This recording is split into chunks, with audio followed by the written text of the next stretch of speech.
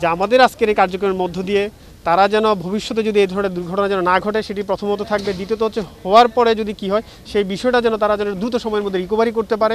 পাশাপাশি আপনাদের মাধ্যমে যেন অন্যান্য যে হসপিটালগুলো আছে, তারাও যেন প্রচার হয় যে, আমরা যত বেশি মহড়া করব, যত বেশি ট্রেনিং করব, তাহলে আমাদের প্রতিষ্ঠানটা যে কোনো ধরনের অগ্নি দুর্ঘটনা কিংবা ভূমিকম্প থেকেও আমরা যদি হয়, তাহলে আমরা সেদিক থেকে আমরা রিকভারি করতে সক্ষম হব। যাই হোক, আমি আর কথা বাড়াবো না। যারা সবাই এসছেন, বিশেষ করে সবচেয়ে বেশি ধন্যবাদ জানাচ্ছি। আমাদের ইম্পেল কর্তৃপক্ষকে যে আজকে আজকে এখানে আপনারা যারা উপস্থিত আছেন একটু আগে যে সীতাকুণ্ডুর অগ্নি নির্বাপনে যে উল্লেখযোগ্য ভূমিকা পালন করে রয়েছে। আমি তাদের দ্রুত আরোগ্য মুক্তির জন্য আমি